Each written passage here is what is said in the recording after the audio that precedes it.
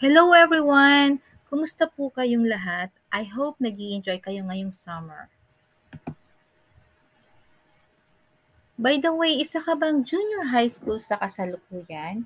Isang grade 10 na curious sa STEM strand?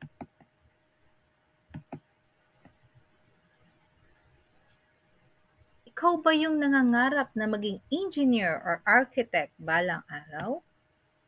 Choosing STEM strand is an advantage because it offers mathematics and science subjects that are very relevant in college courses such as pre-calculus, basic calculus, and general physics 1 and 2.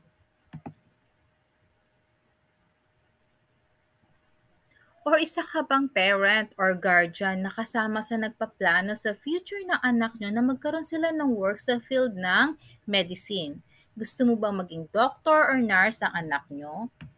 O kaya naman gusto mo sila sa field ng sciences like maging chemist or biologist? STEM strand offers specialist subject for sciences such as general Biolo- biology 1 and 2, general chemistry 1 and 2, earth science, DRR, and of course general physics 1 and 2. So I am Ma'am Win, a STEM teacher, willing to guide you on the entry requirements of senior high school STEM strand. So are you ready? Let's start with criteria number one. Source, DepEd Order number 55, series of 2016.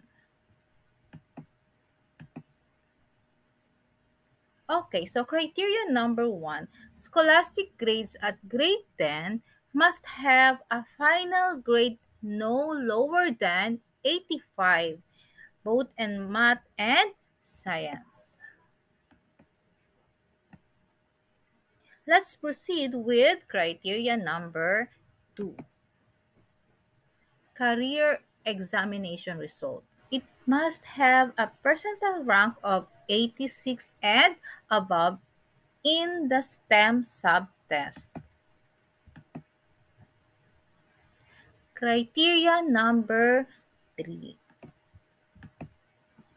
So this is the alternative entry requirements. This refers to the write-up of scientific inquiry process, draft experiment, and other such summative assessment. You have to submit this requirement to your preferred school. So everyone, let us all be inspired by Engineer Cantu, my former STEM student, batch 2018. She's now a licensed mining engineer. So ano pang hinihintay mo? Come and join our team. Welcome to STEM Strand. Like and subscribe if you find this video helpful and informative. Thank you so much. See you in the next video. God bless everyone.